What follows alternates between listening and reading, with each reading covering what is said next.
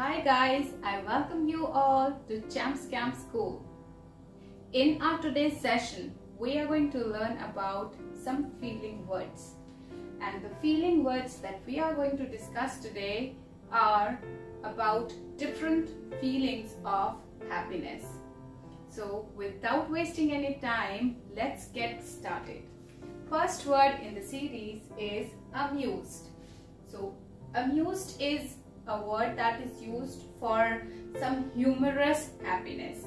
इसको हिंदी में हम कह सकते हैं, जब हम मन बहलाने वाली खुशी के बारे में बात करते हैं, या जब बहुत यू नो जब हमारा हमें इस तरह की खुशी होती है, जिससे थोड़ी सी ना हम हँसते हैं, उसमें थोड़ा सा ह्यूमर होता है उस बात में तो उस सेंस में हम इस वर्ड को यूज़ करते हैं अम्यूज देखते हैं उसका usages John was not amuse by the joke his brother told यानी कि उसके भाई ने जो जोक सुनाया, उसको उसको बिल्कुल हँसी नहीं आई। तो ये अम्यूज वर्ड जो है, आपको शायद समझ आ रहा होगा कि ये हम यूज़ करते हैं जब, जहाँ, जिस बात में थोड़ा सा ह्यूमर होता है। और so next word is delighted delighted को हम हिंदी में कहते हैं प्रसन्न होना ओके okay?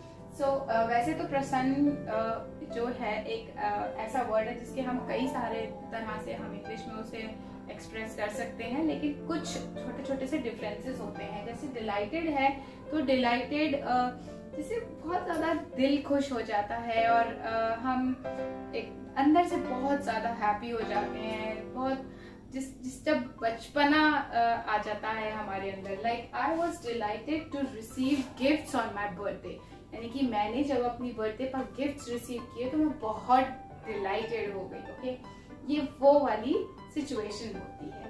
नेक्स्ट वर्ड जो हम अपना यूज़ कर सकते हैं, वो होता है glad wow I am glad to see the beautiful view ये भी वर्ड हम प्रसन्न के ही सेंस में यूज़ करते हैं।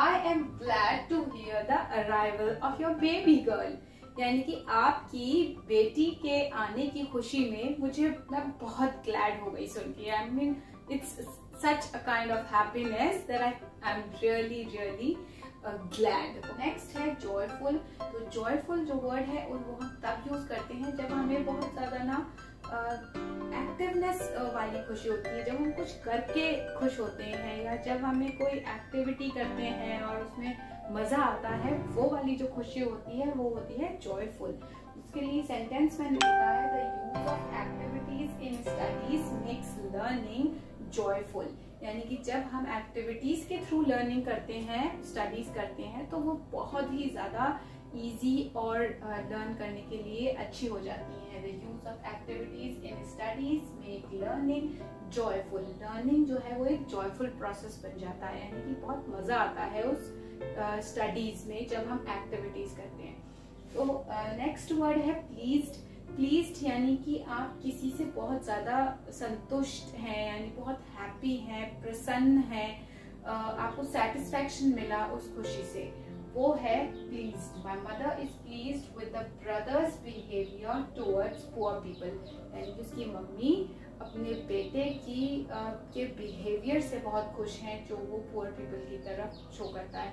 बहुत ज़्यादा सेटिस्फाइड है उसकी मदर इस बिहेवियर से अपने बेटे के। Okay next word is content तो कंटेंट वर्ड जो है, वो है कि आप बहुत फुलफिलिंग सा फील जब करते हैं यानी कि एग्ज़ाम्पल देखते हैं both the partners seemed content with the terms and conditions यानी दोनों पार्टनर्स बहुत ज़्यादा कंटेंट फील कर रहे हैं टर्म्स और कंडीशंस को देखकर।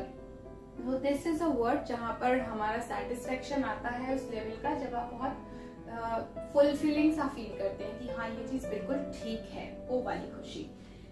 है ग्रेटफुल तो ग्रेटफुल जो वर्ड है, वो उस खुशी के लिए करते हैं, जब हम किसी के लिए थैंकफुल होते हैं। हम आभार अपना व्यक्त करना चाहते हैं, आभार दिखाना चाहते हैं। तो grateful is a word when we show gratitude for someone okay that kind of happiness sentence देखते हैं I am grateful for your kind and encouraging words. yani i am thankful i'm grateful for your encouraging words. Okay friends next word जो हम अब देखेंगे वो है charmed and charmed जो word है ये हम यूज़ करते हैं जब हम आ, उस सिचुएशन की बात करते हैं कि सब कुछ स्पेल बाउंड हो गया यानी कि एकदम से सब बहुत ही ज़्यादा मंत्र मुक्त हो गए एकदम चुप हो गए सब एक एक ऐसी खुशी हो गई कि सब खुश हो जाते हैं किसी चीज़ को देखकर किसी चीज़ को सुनकर एकदम सब ऐसे हो जाते हैं कि यार ये क्या है? आई मीन दिस इज़ जब आपके पास वर्ड्स नहीं होते कहने के लिए, तब वो सिचुएशन और वो खुशी एक्सप्रेस करने के लिए हम जो वर्ड यूज़ करते हैं, वो होता है चाम ओके चाम सो इस वर्ड को हम ऐसे यूज़ करते हैं कि सेंटेंस लिखते हैं. She charmed her in laws with her sweet voice यानी कि उसने अपनी मीठी आवाज़ से सब लोगों को इतना मंत्र मुक्त कर दिया अपने इन लॉस को उसने इतना ज़्यादा स्पेल बाउंड कर दिया इतना ज़्यादा सब खो गए उसकी आवाज़ में और सुन के बहुत खुश हुए। सो so, वो वाली सिचुएशन यहाँ पर uh, मैंने समझाई है कि she charmed her in laws with her sweet voice ठीक है आई होप ये अच्छा लगा होगा आपको। नेक्स्ट uh, सेंटेंस है ऑप्टिमिस्टिक सो so, ये ऑप्टिमिस्टिक वर्ड जो है ये एक पॉजिटिव इसका मतलब होता है पॉजिटिविटी यानी कि आपका जो पॉजिटिव आउटलुक होता है, उसको कहते हैं ऑप्टिमिस्टिक तो इसके लिए हम, मैंने सेंटेंस लिखा है I am optimistic about the growth and success of my new venture यानी कि मैं अपने जो न्यू वेंचर मैंने स्टार्ट किया है, उसको लेकर बहुत ही ज़्यादा पॉजिटिव हूँ। यानी कि बहुत पॉजिटिव वाली, बहुत हेल्दी वाली हैप्पी फीलिंग है मेरे अंदर कि मैं बिल्कुल सक्सेस मिलेगी मुझे अपने न्यू वेंचर में। Okay so this is a word जब हम पॉजिटिविटी के लिए बात करते हैं।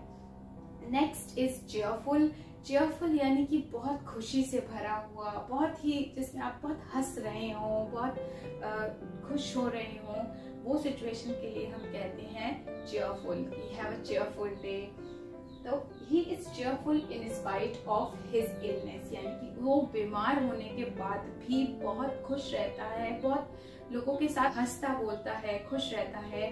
वो सिचुएशन जब होती है तो हम यूज़ करते हैं चेयरफुल यानी कि जब हँसते हैं और खुश होते हैं।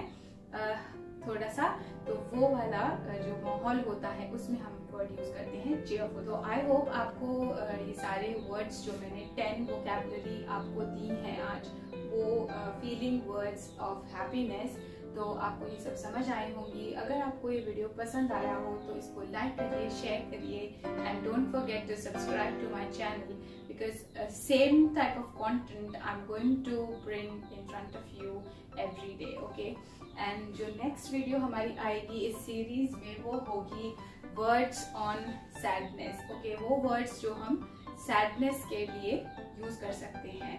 तो वही फीलिंग वर्ड्स मैं आपको नेक्स्ट अपनी वीडियो में बताऊँगी। Till then good bye and keep watching cam school